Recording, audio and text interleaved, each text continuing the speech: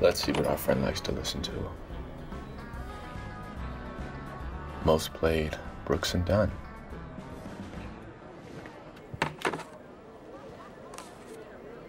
I need tickets for Brooks and Dunn. You got that, Parker?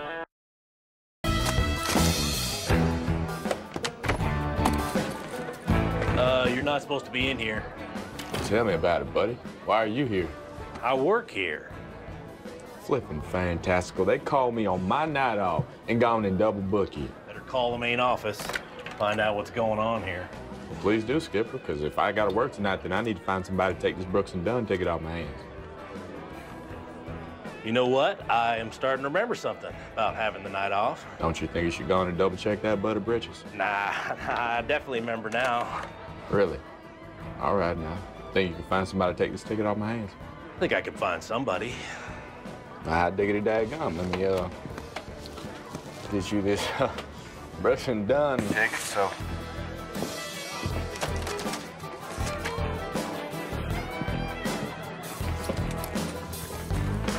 Look, spick and span, damn, look, there it goes right there. I must have dropped it.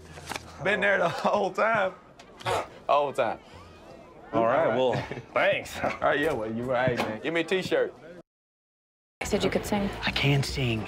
I just, I didn't realize there was gonna be this many people. You are nervous. Relax, man. I told you, I got you. Say something. I don't speak on command, Hardison. Perfect. Now, I rigged my laptop to record your comm. Now, this means that I can alter your pitch from anywhere to make you sound like Darth I don't Elliot speak on command, Hardison. to Spencer Smurf. I don't speak on command, Hardison. Hardison? Don't ever do the Smurf thing again. Right. So, the software takes the frequency of your voice and it matches it to the key of the song, then uses a Fourier transform to correct the pitch and sends the tuned audio out through the bar speakers. What does that mean? That means that for tonight, Elliot has perfect pitch. You ever wonder how Britney Spears sounds so good on her tracks? Well, this is it. Except mine is in real time, baby. Uh, who exactly did you just refer to as baby? It's like the universal term of baby. How old are you?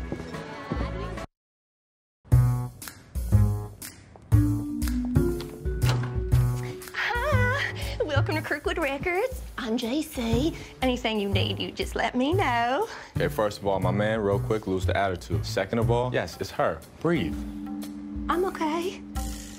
Um, if I could get you to fill out these visitor badges. Did you just look her in the eyes?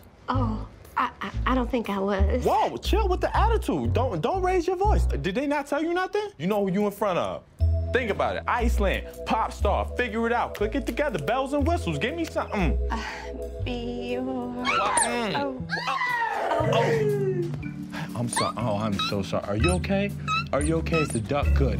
Woman, for real, get up in here. Mommy, mommy, mommy, real quick. I hope for your sake that you was not about to say what I think you was about to say. Well, I don't think I was. What I'm gonna need you to do is just roll up out of here, cuz, cause you messing up the aura. We was cool, we was vibing. Okay. Um, great. Well, I'm gonna get going on that paperwork. Okay. Yeah, you do that. So I can start recording this hillbilly. I crossed the ocean, the pond, and the creek to get here. Hey, yo, Elliot, you got an ETA? Yeah, I'm almost there, but I think somebody's following me. Do some Elliot fool on him. What happened to this is what I do? Yeah, I don't think that's gonna work this time.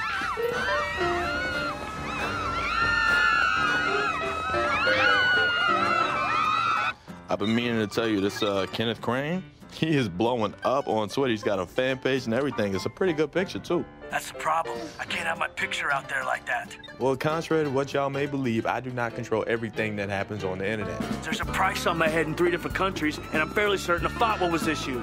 You are so vain, man. Boom, there. Fan site nuke. But you know what? When you get back, we're gonna have us a serious conversation about the difference between caution and paranoia. Done the things I've done, there's no such thing as paranoia. You ready, man? All right.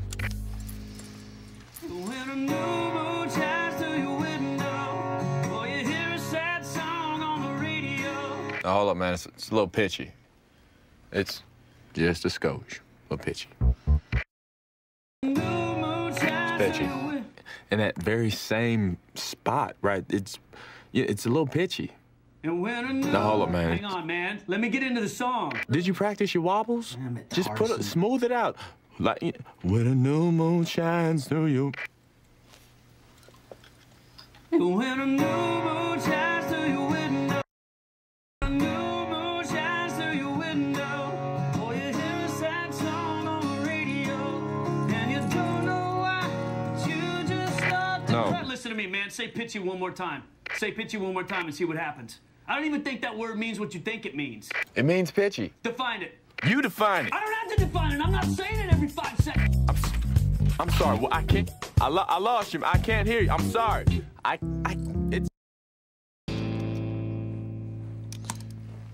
Okay, so this is the original recording of the song that made Kirkwood famous.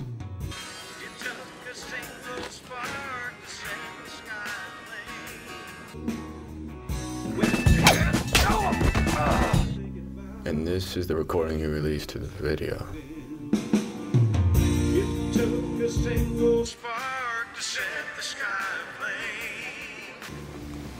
It's not the same. Which one is Kirkwood? That's just it. Neither. It's the same song, just with a pitch adjustment. Well, then who's singing the song? I'm matching a voice print right now. Where's Elliot? Got it. Boom. Jesse Jenkins. All right, that's that's why Kirkwood would never recorded a second song. He didn't record the first one. Kirkwood paid him off?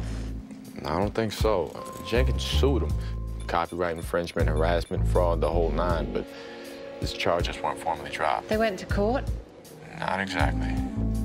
Any other guesses?